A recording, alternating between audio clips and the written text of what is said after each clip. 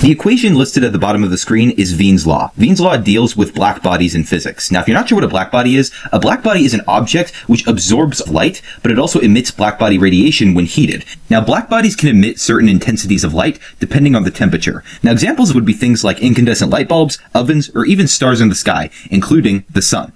So let's say we have a problem like this, where we have three different blackbody curves given to us, but we're not sure what these curves are. And what we're trying to do is figure out which one of these curves represents the sun. So I can see that we're given the approximate temperature of our sun, which is 5800 Kelvin. So what I'm going to do is take 5800 Kelvin and I'm going to plug it in to the bottom of this equation. So we have Wien's constant, which is 2.9 times 10 to the 6th, divided by 5800 Kelvin. So notice here the kelvins will cancel each other. 2.9 times 10 to the 6th divided by 5800 should give you 500 nanometers. So if I go to my graph and I look at the 500 nanometer mark, and I look at which curve peaks at 500 nanometers, it looks like it's going to be this yellow curve right here. So that means this middle black body curve represents the sun.